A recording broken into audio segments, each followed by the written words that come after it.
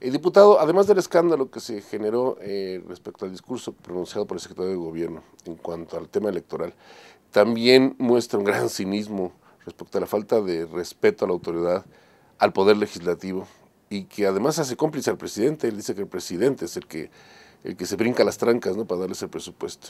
Y hablamos de un tema que ha tenido eh, una larga cola de irregularidades y de legalidades. Hay un amparo, hay un hay denuncias, hay desacatos. Este, el señor gobernador Guillermo Padres incluso está considerado fuera de la ley por, por violar un amparo. Platíquenos, ¿qué dice el secretario de gobierno?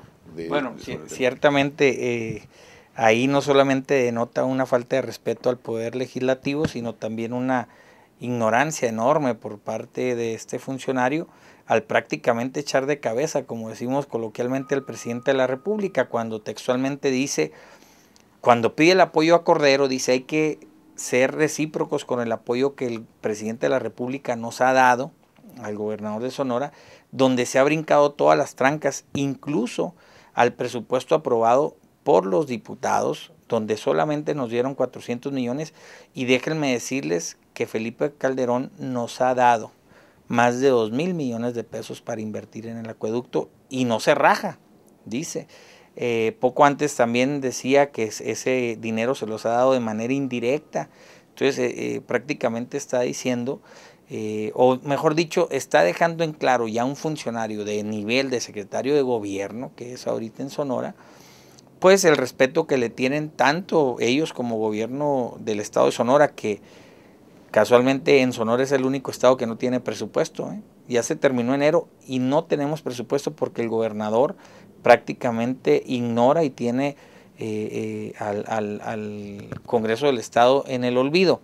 Aquí nos dejen claro también que esa misma falta de respeto y falta de importancia la tiene el presidente de la República, que te digo, viene nada más a confirmar lo que en hechos ha demostrado el presidente de la República, que no respeta el presupuesto que sale de aquí de la Cámara de Diputados, que no respeta la institución como tal, y es muy lamentable, bien lo decía don Benito Juárez, que se mutilen los hombres, no las instituciones, pero lamentablemente este gobierno no solamente está mutilando a los hombres con las masacres y todo esto que ha provocado esta guerra absurda de Calderón, sino que también el menosprecio que ha mostrado por las instituciones como lo es el Congreso de la Unión, la Cámara de Diputados en este particular, es sumamente lamentable y más lamentable que todavía se den el lujo de poder anunciarlo a los cuatro vientos como si fuera un logro, violentar una ley como lo es el presupuesto e invertir en una obra que, como bien lo decías tú,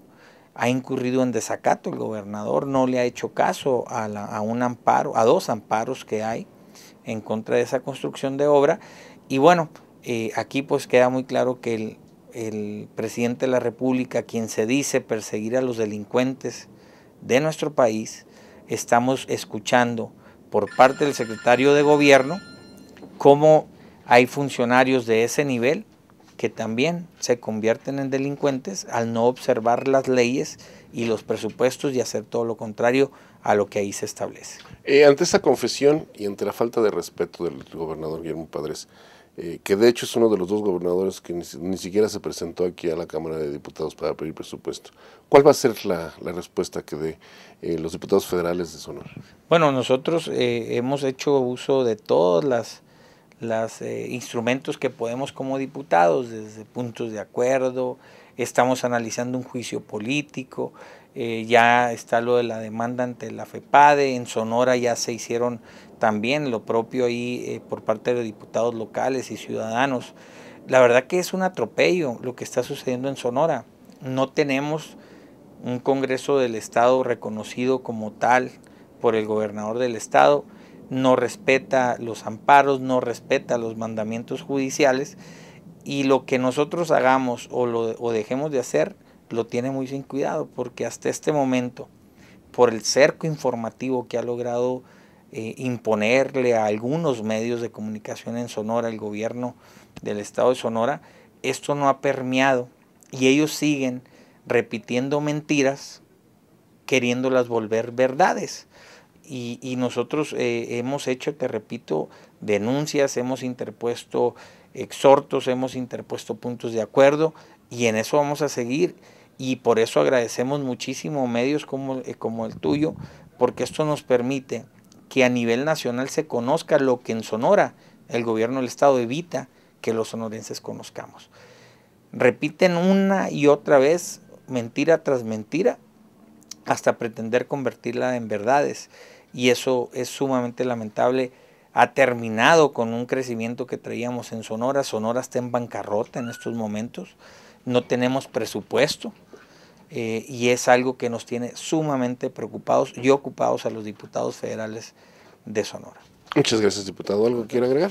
No, agradecer muchísimo y esperemos pues que seguramente quienes nos vean y nos escuchan conocerán a través de medios nacionales lo que allá el gobierno del Estado de Sonora evita que algunos medios locales lo den a conocer a la ciudadanía.